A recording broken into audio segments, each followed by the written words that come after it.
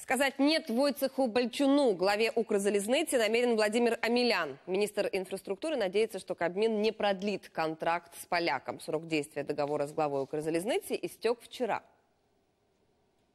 Це питання точно буде розглядатися завтра на кабінеті міністрів. Е, Я сподіваюся, що рішення буде одноголосне, що продовження контракту мова не йде.